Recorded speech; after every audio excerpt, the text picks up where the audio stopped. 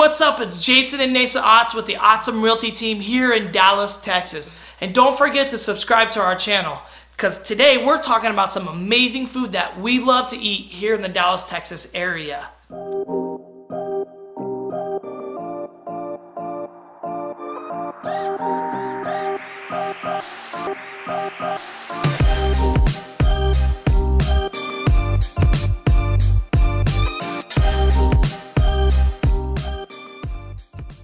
Whether you're here visiting or about to relocate, Texas has amazing food. We have authentic Tex-Mex and barbecue. Here's a few of our favorite places. So number five for us is Del Frisco.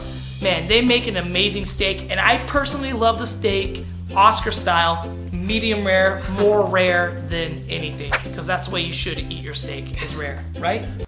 Sure. Number four is Torchy's Tacos. We love tacos here in Texas, Delicious. and they make some really great street style tacos. And they even have a secret menu, so you have to ask about it or you can Google it before you go in there. But definitely check this one out. Probably my favorite queso is from this place. And they have an amazing taco called Trailer Park. And you can order it extra trashy, so extra trailer park trashy.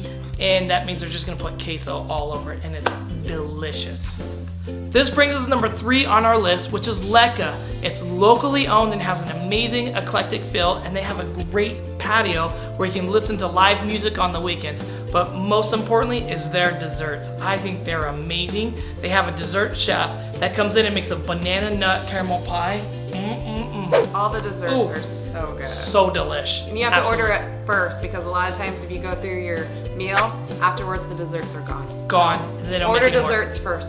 Yes. Good tip.